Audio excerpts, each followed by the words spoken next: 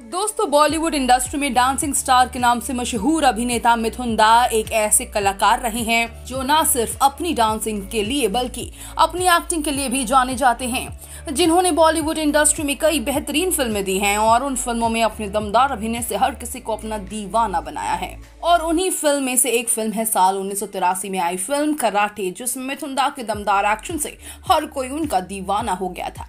लेकिन दोस्तों, आपको बता दें, आप सभी को जल्द ही इस फ़िल्म का सीक्वल देखने को मिलने वाला है। तो चलिए जानते हैं कि आखिर इस फ़िल्म में कौन से स्टार कास्ट काम करते हुए नज़र आएँगे। फ़िल्म की कहानी क्या होगी और फ़िल्म में क्या नया देखने को मिलने वाला है। अगर आप भी इन सभी बातों को जानना चाहते हैं तो हमारे साथ इस वीडियो के अंत तक बने रहे साथ ही। इस दमदार अभिनेता के लिए आप हमारी वीडियो को लाइक करना ना भूलें। जैसा कि आप सभी जानते हैं, साल उन्नीस सौ तिरासी में आई फ़िल्म कराटे देव मुखर्जी द्वारा डायरेक्ट की गई थी, जो कि एक हिंदी ड्रामा मूवी थी।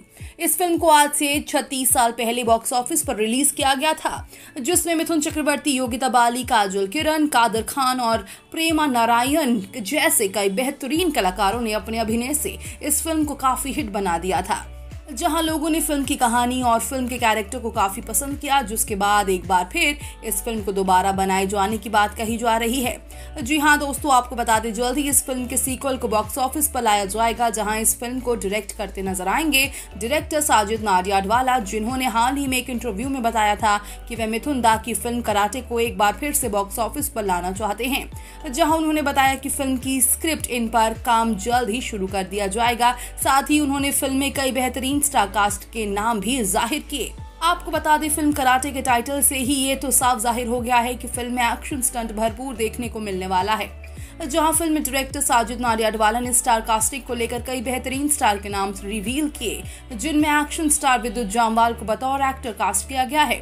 जिनके अपोजिट साउथ की दमदार अभिनेत्री अदा शर्मा नज़र आने वाली हैं, जिन्होंने विद्युत जामवाल के साथ कमांडो सीरीज़ में उनके साथ काम किया है। ऐसे में दोनों की बॉन्डिंग एक बार फिर दर्शकों के दिलों में एक खास जगह बनाती हुई नज़र आएँगी, जहाँ इन दोनों के किरदार को लेकर कई सस्पेंस आपको फ़िल्म में नज़र आने वाले हैं। साथ ही इन दोनों स्टार के अलावा आपको कई और नए चेहरे फ़िल्म में काम करते हुए देखने को मिलने वाले हैं। इसके अलावा बात करें फ़िल्म में विलन की तो आपको बता दें फ़िल्म में विलन के तौर पर खलनायक मोटा राजेंद्र अपने विलन गिरी से हर किसी को डराते हुए नज़र आने वाले हैं जो साउथ की कई फ़िल्मों में अपने दमदार विलन गिरी के तौर पर देखे जाते रहे हैं। वेल well, दोस्तों अब देखना ये होगा कि कब तक इस फ़िल्म के टीजर और ट्रेलर रिलीज़ की अनाउंसमेंट की जाती है। वैसे तो फ़िल्म स्टार कास्ट लगभग कंफर्म कर लिए गए हैं, जैसे ही फ़िल्म के शेड्यूल पर काम शुरू किया जाता है, वैसे ही फ़िल्म की अनाउंसमेंट जल्द ही कर दी जाएगी, जिसके लिए फैंस काफ़ी एक्साइटेड हैं।